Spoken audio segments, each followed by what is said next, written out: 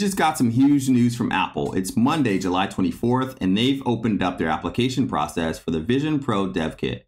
You can get a Vision Pro device loaned to you for the development of your idea. Whether you're brand new and you don't know where to start, or you're a developer looking to explore, you've reached the right place. So let's learn together and let's get spatial.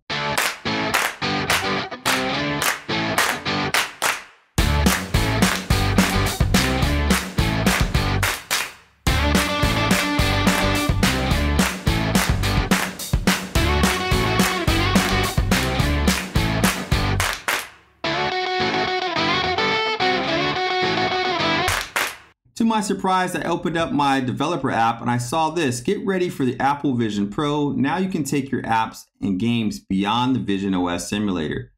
This is the website you need to go to to apply for the Apple Vision Pro Developer Kit. Have an innovative idea for an app or a game for Vision OS that requires building and testing on the Vision Pro? Apply for Vision Pro Developer Kit. This kit will help you deliver amazing spatial experiences by letting you quickly build, iterate, and test on Vision Pro. Down here, you can see how it works. We'll loan you, you don't get to keep this. Remember, these devices are $3,500. We'll loan you a Vision Pro Developer Kit to prepare your app for the launch of the new App Store on Vision Pro. You'll also receive help setting up the device and onboarding, check-ins and Apple experts for UI designs and development guidance, and help refining your app. Two additional code level support requests so you can troubleshoot any issues with your code. The Apple owned development device needs to be returned upon request. Submit a brief application to the Vision Pro Developer Kit. This is key. You need to be an account holder in the Apple Developer Program.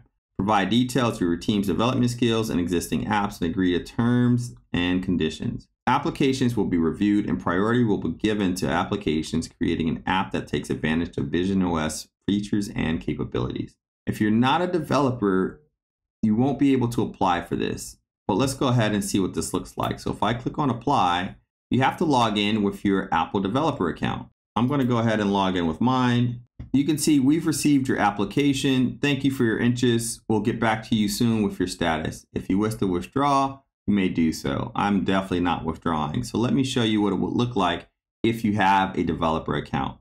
Here's what it looks like if you sign in with your developer account.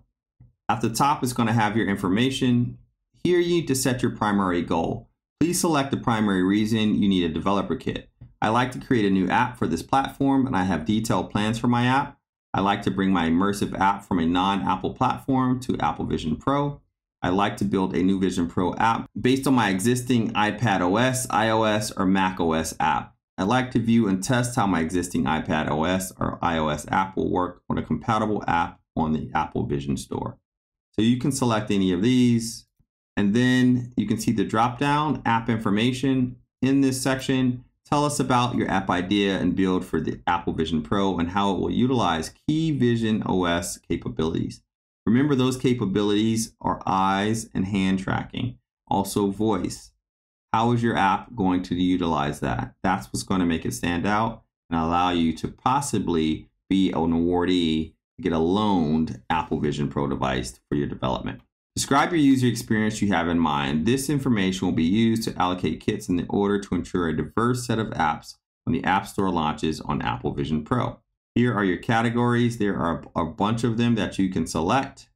How long do you think it will take?